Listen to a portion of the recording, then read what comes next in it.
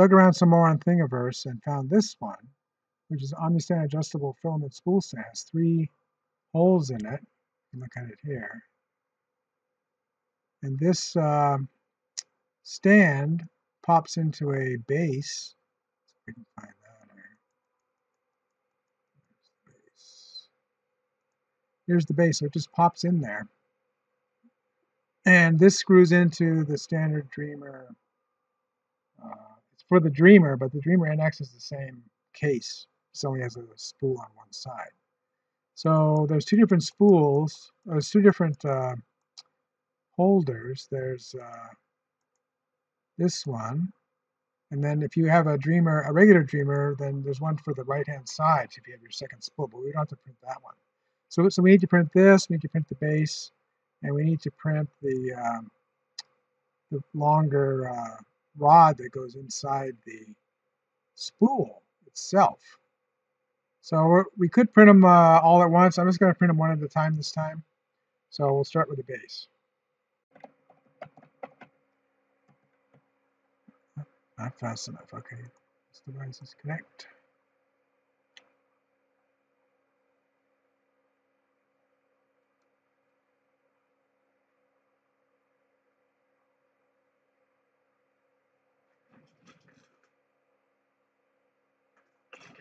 All right, we're connected.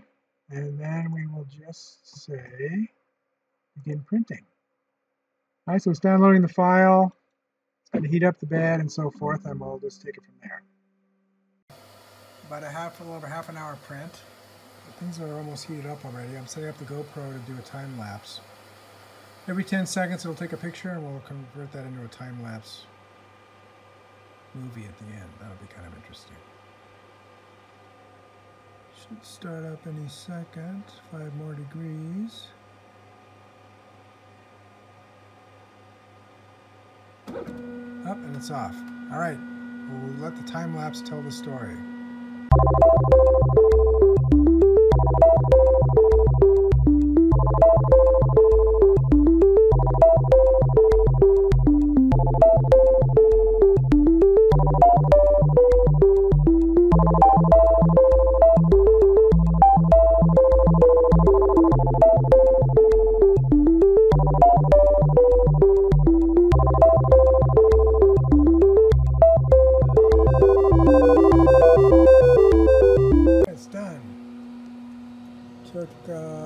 44 minutes, including heating. So we need to add about 12 minutes to the prediction by Simplify 3D. So the print looks good. We're going to let it cool off before we take it off the stand. Then we'll go on to the next the next part of this Omni stand, adjustable Omni stand. So this this is encouraging so far. All right, so it's cooled down to about 50 degrees. We're going to go ahead and try to get this off. Keep going.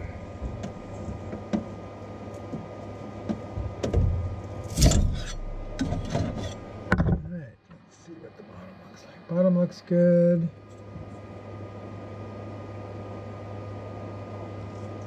I think it looks good. So let this cool off and then we'll start the next print. Oh, that's cooling off. All right, next we need to print the stand itself. And this clips clicks into the base that we just printed. And you can see where the, little um, cutouts are so that the rod, when it comes in, can lock, lock the rod in place. And this has some overhangs, including on the bottom here, these little lock uh, segments here. So we're going to put this with um, with supports. So we'll look at our process settings and we selected ABS supports. And we set that up in the last project. Well, actually, I didn't show you that project because it didn't work, but I'll show you that later. Actually, before, for this part of the video, I will show you what I tried to do before. So, uh, let's see. So, for supports, we just took the default for supports. It seemed to work well for the other projects. So do we prepare for print and we'll see where the supports show up. So this gray here, here, and underneath here are the supports for the overhang. So there's also some overhangs right in here. So that should make the print uh, more solid. So we're going to go ahead and do that. We're still connected to the printer. It didn't shut down, so we're going to go ahead and start printing.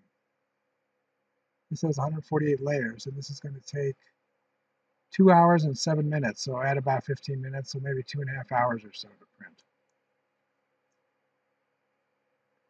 All right, so it's sending the file over, and pretty soon we'll be on its way.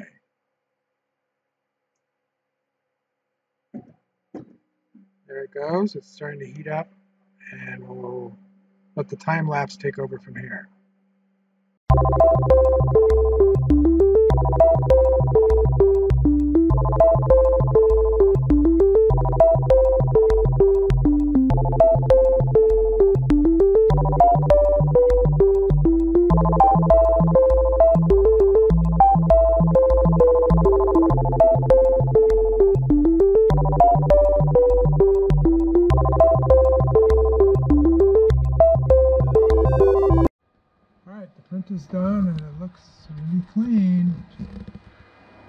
Things cool down. It's too late to do another print tonight, so I'm just let it cool till tomorrow. And I'll take it off then. And based on the other print I did, the supports should come off easily, so we'll see how that works out tomorrow. All right, good progress. We've still got quite a bit of ABS left. I have one other project I'm going to do with it, so that looks like we're okay on filament. But again, that's the filament that came with the printer, so it's performing quite well so far. I'm really pleased with it. All right, it's the next morning, so everything's cooled down. And we'll just take this off. Looks like a really good print. There we go.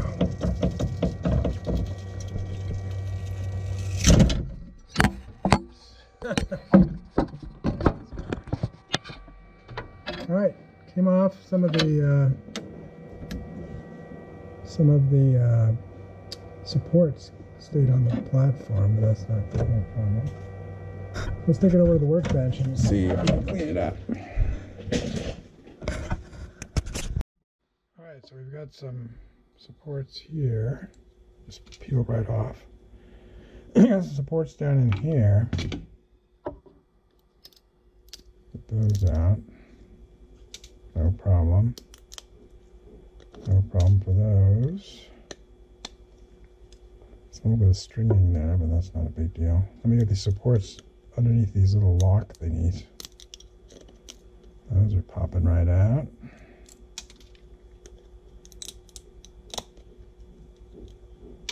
I would say the direct or the Simplify 3D software has paid for itself already with handling all this support stuff for me. I'm not a, this is my first 3D printer, so I don't have a lot of experience. And the, um, the Dreamer NX has been great too, because I'm not really interested in a uh, tinkering project. I just want to print stuff. So that all looks pretty good. Let's try the lock here. See if it locks. Yeah, look at that.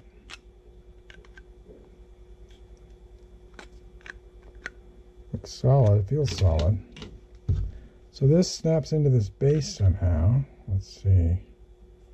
We can figure that out. I guess just like that. Not sure why this has this little depression here because there's nothing there's nothing sticking out here that goes in there. But if this goes on like this, it fits very snugly. So I would say it's not going to go anywhere. This is where you screw it in. So, yeah. Not sure what that's for. Have to find out, maybe. In any case, here's the reel, one of the, the PLA reel that came with it. It had this insert. And then here's this uh, locking ring. So that can go through here and lock into here. no problem. And then this is the PETG one kilogram reel that I bought. And um, so it's obviously, we showed before, it's a lot, it's a bigger diameter, it's a lot thicker. So, but this has the same uh, insert size. So this this uh, rod here isn't long enough get through and engage in this thing. So the next part to build, the next part to print is a 100 millimeter rod that would go through this big of a, this wide of a, a reel and then engage in these uh, slots here. So that's our next project. It's all part of the same Thingiverse project, but that's our next thing to print.